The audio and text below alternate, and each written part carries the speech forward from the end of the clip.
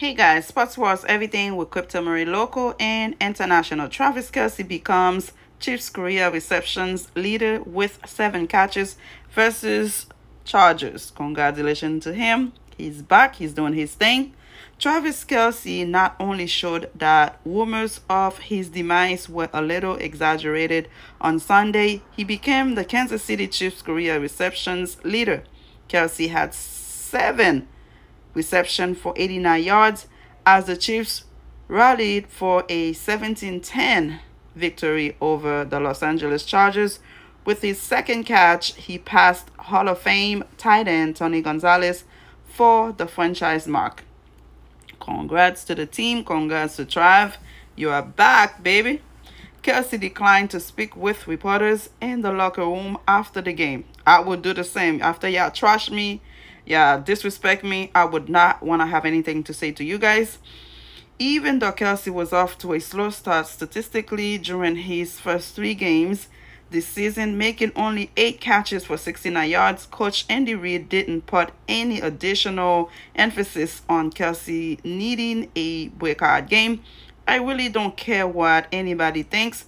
To be honest with you, Reid said, I watch what the defense does and how they respect him and so I take it off of that and I watch Trav every day so I get to see him and how he works, how he never wants to come out and practice in the game.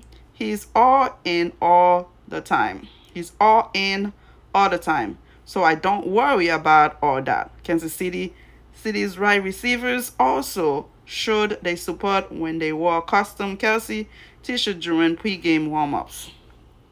That's good. It's a team effort. Everybody get together, support each other, and let's get it done. Quarterback Patrick Mahomes, who attributed Kelce's slow start to the extra attention he was receiving from a opposing defense, also wasn't losing much sleep over his favorite target's early lack of receptions. I mean, the whole Kelce thing in general hasn't been a worry to me. Mahomes said, I know whatever we need, he's gonna going to make plays, and that's what he did today. The nine time Pro Bowl tight end made a 38 yard reception on the third play of Kansas City's opening drive to tie the record of 916 catches set by Gonzalez over 12 seasons from 1997 to 2008. Kelce then caught a five yard pass on the Chiefs' fourth drive to break the record early in his own 12th season with the team.